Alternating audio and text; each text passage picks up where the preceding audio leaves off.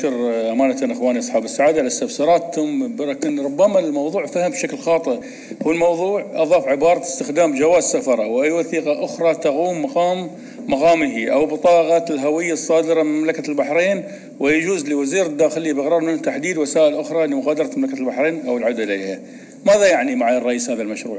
هذا استشراف المستقبل ترى الجوازات تصير يا إخوان في التليفون في الموبايل البيومترك اللي بيه الجواز البيومترك فجوازه كان فهذا استشراف للمستقبل يمنح وزير الداخلية صلاحية تحديد أي وسيلة للخروج والمغادرة من المنافذ سواء اجانب بحرينيين اليوم إحنا الجواز مثل ما نعرف إنه بيكون بيومترك غالبا الطلب اللي تقدم بالمجلس من أجل اعفاء البحرينيين من فيزا الشنغن كان من أولى اولوياته تحويل الجواز البحريني إلى بيومترك ففي حالة الجواز العادي لن يسمحوا بالاعفاء من الشنغن.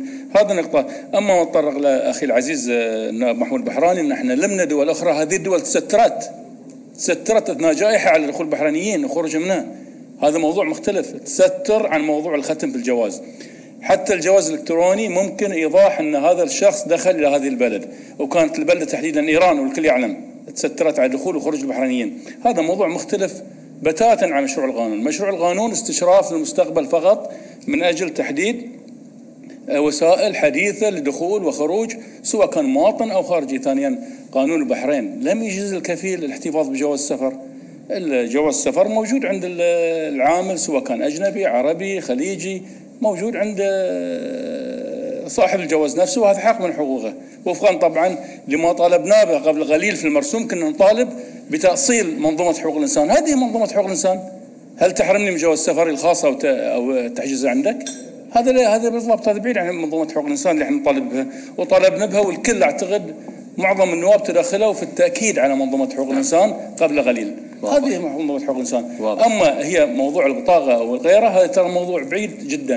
مجرد استشراف المستقبل من أجل استخدام التقنيات والوسائل الحديثة في الخروج والدخول من منافذ مملكة البحرين. كذلك أعتقد في المشروع أيضا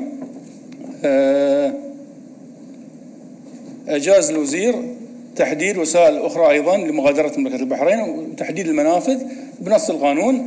وحذف عبارة بإذن موظف الجوازات المختص ويكون ذلك بالتأشير على جواز سفر الوثيقة لأن هذا تزير في القانون. وواضح يعني لما يكون استخدام جواز سفر أكيد من خلال المرور من خلال الموظف منافذ العبور. شكرا معالي شكرا شكرا.